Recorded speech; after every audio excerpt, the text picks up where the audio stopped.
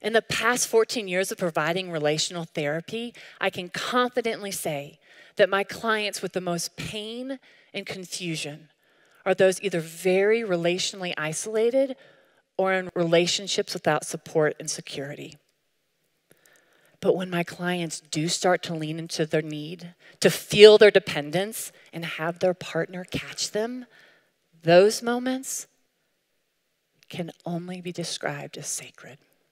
One research study shows that if we were to stand in front of a hill alone, your body will perceive the hill to be higher than if you were to stand in front of a hill with a friend. It takes courage to long for, yet struggle with relationships.